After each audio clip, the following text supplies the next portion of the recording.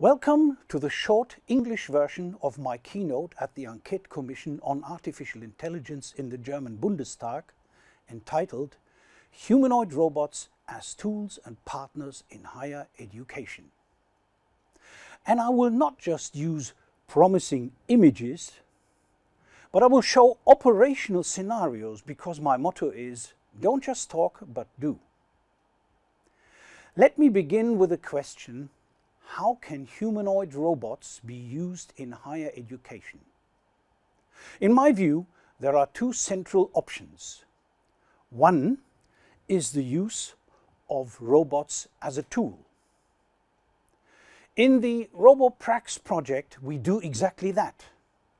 We use humanoid robots to teach secondary school students about artificial intelligence in everyday life by teaching them how to handle and program robots in the so-called and now award-winning Roboticum. You can find more details on our website roboprax.de. The second option uses humanoid robots as partners in teaching. But how can a robot be a partner in teaching or in education in general? Let us first take a look at classical teaching as it has been done for centuries. The scenario looks like this. Knowledge delivery at one time, in one place, at one pace by one person. Then a self-guided or group-organized deepening phase, traditionally also referred to as homework.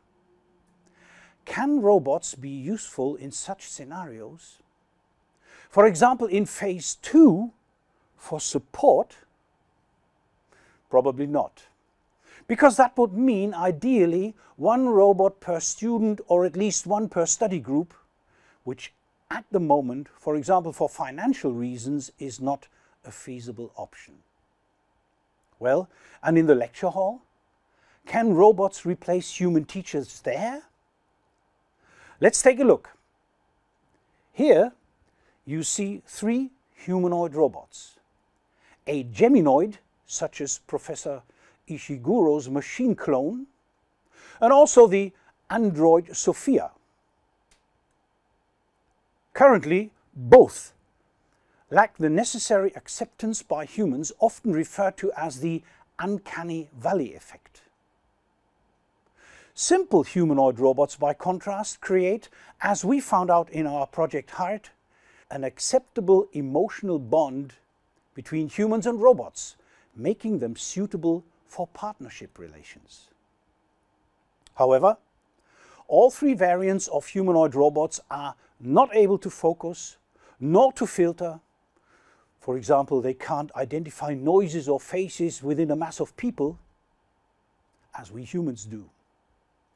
And as far as their emotions are concerned, they often seem to be more monotonous than motivating. Thus, humanoid robots are not suitable as teacher substitutes, so that the use of humanoid robots is currently not an issue in classical teaching. But what about digital teaching formats in which knowledge acquisition is self-guided and based on multimedia learning units and the deepening phase is supervised by an academic learning guide in class. And where students document their knowledge before the in-class phase by means of a mastery test. Inverted classroom mastery model is the label for this digital teaching and learning format, which makes the classical lecture, and thus also the lecture hall, obsolete, especially in areas where fundamental knowledge has to be delivered. And in such a format, which you can see in this simplified version to my right, there are two central applications for humanoid robots as partners. One refers to the in-class phase, in which robots may provide learning support by taking over basic tasks, giving the academic guides new freedom for individual advice and consultation. The second application uses the data collected in digital teaching formats for individual counseling purposes. This option is called Learning Analytics. Although learning analytics can also be performed using software solutions, for example by using chatbots, humanoid robots, and this is also a result of the HEART project, humanoid robots create higher emotional bonds with the learners. These two central applications can be realized by specific robot apps.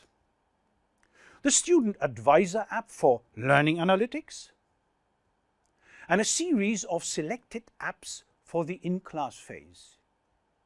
You can view these in detail on our project website. In order to make the in-class phase even more efficient, we have developed what we call the Classroom Application Packages or CAPS for short. These CAPS bundle several classroom activities via individual robot apps so that the robot takes over a respective task in the classroom for a certain period of time. And they can be modified during runtime through a direct interaction between the robot and the academic guide. Beneficiaries of these CAPS are the learners. They can profit from even more intensive learning support and advice. By the way, the CAPS are being developed in cooperation with the Chinese University of Hong Kong and their learning management system uReply, since no financial support has been found in Germany so far. In summary, it can be stated that in classical teaching formats, there is no real use for robots except as showcases. Digital data cannot be accumulated in such scenarios, so learning analytics approaches are not realistic.